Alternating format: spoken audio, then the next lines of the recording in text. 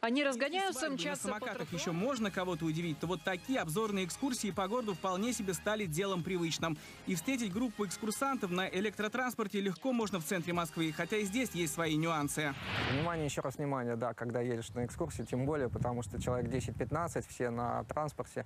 А, очень удобно, я ездил на одной экскурсии, там наушник дается, и катаемся, он слушаем непосредственно гида. Николай очень любит путешествовать. На своем электросамокате объехал всю Москву и окрестности. Говорит, у этой техники только один минус. Чтобы э, ездить далеко, конечно, нужна запа- запасная батарея, да. Доехав до Ногинска, например, это на одной зарядке можно, спокойно на моем самокате, и, соответственно, там надо будет заряжаться 6 часов, чтобы полностью назад вернуться на нем.